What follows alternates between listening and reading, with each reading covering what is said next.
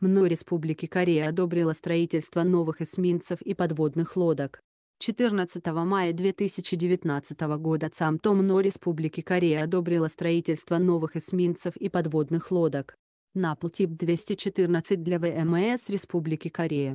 Источник изображения kazasehelicopters2.blogspot.com ЦАМТО, 13 мая.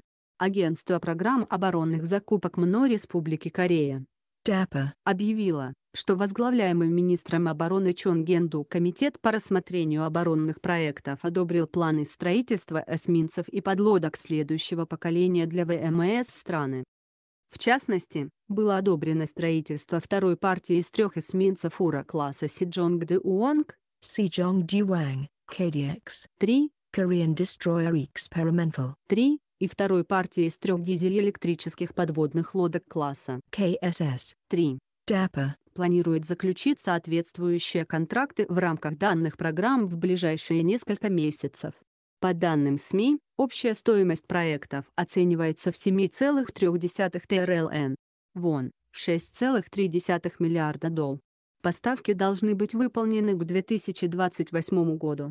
Как указано в пресс-релизе, DAPA проект KDX 3 серия 2, оценивающийся в 3,9 ТРЛН.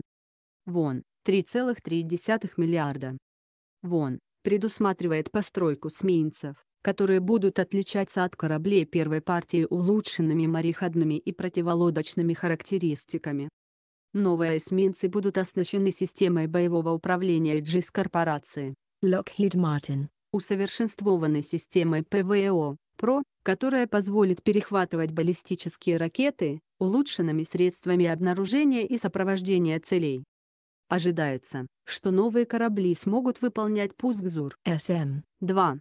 Первая партия эсминцев, KDX 3, также оснащенная системой EGIS, была принята на вооружение в период с 2008 по 2012 ГГ. Верфь Hyundai Heavy Industries HHI построила первые и третий корабли, а Daewoo Shipbuilding and Marine Engineering DSME второй корабли KDX 3 серия 2 спроектированы компанией Hyundai Heavy Industries HHI в соответствии с заключенным в мае 2016 года контрактом. Ожидается, что эти эсминцы также будут построены на верфях HHI и DSME стоимость строительства второй партии 3450 тонных подводных лодок KSS 3 оценивается в 3,4 ТРЛН. Вон. Новые НАПЛ также будут отличаться улучшенными боевыми возможностями по сравнению подлодками с первой партии, постройка которых также ведется. HHI И DSME новые подводные лодки будут оснащены пусковыми установками баллистических ракет, литиевыми батареями и современными ГАЗ. В декабре 2018 года агентство DAPA объявило, что DSME завершила разработку эскизного проекта NAPL KSS 3 в рамках заключенного в 2016 году контракта. Ожидается, что DSME также построит первую подлодку второй серии. Контракт на постройку первых двух подводных лодок в рамках первого этапа. Batch 1 проекта. KSS 3 DAPA подписала ЭС. DSME в декабре 2012 года. Подрядчиком постройки третьей подлодки в конце 2016 года была выбрана. Hyundai Heavy Industries Головная подводная лодка была спущена в сентябре 2018 года и должна быть принята на вооружение в 2020 году. Ожидается, что еще одна партия из трех подлодок, KSS 3 будет заказана в начале 2020 ГГ. Агентство рассматривает программы строительства новых эсминцев и подводных лодок в качестве приоритетных проектов в рамках усилий по снижению зависимости от иностранных технологий.